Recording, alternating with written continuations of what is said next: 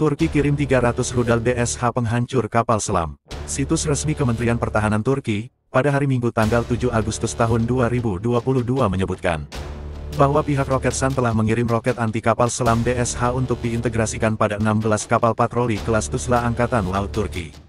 Di mana dalam pengiriman pertama ini, 300 roket anti kapal selam DSH telah mulai digunakan untuk 12 unit kapal, dan sisanya akan segera menyusul.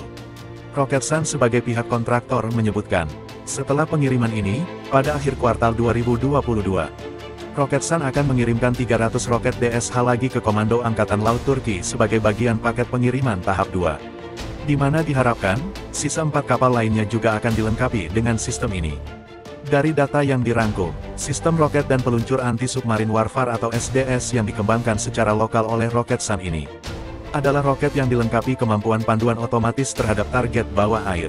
Tidak main-main, DSH ini mampu menghancurkan target pada kedalaman 15 hingga 300 meter di bawah air pada jarak maksimal 2 km. Sehingga sistem roket pintar bawah air ini tentu saja akan menjadi ancaman serius bagi kapal selam musuh. Terutama kapal selam yang bergerak mesum di ke dalam dangkal dan menengah. Bayangkan bro, jika satu unit kapal selam nuklir dikejar oleh 300 unit DSH milik Abah Haji.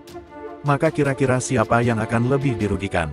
Mengutip dari Roketsan, sistem DSH dapat ditembakkan secara tunggal atau salvo ke target bawah air. Berkat sistem canggih yang diintegrasikan oleh Roketsan, DSH juga memiliki kemampuan meledak pada kedalaman yang disesuaikan. Untuk hulu ledaknya, DSH dilengkapi dengan hulu ledak berpresisi tinggi yang tidak sensitif seberat 12 kg.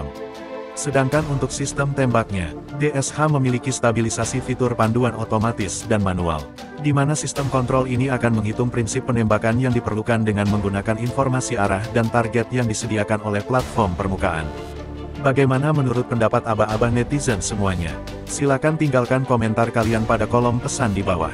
Terus ikuti channel ini untuk mendapatkan informasi terkini terkait perkembangan teknologi militer Turki.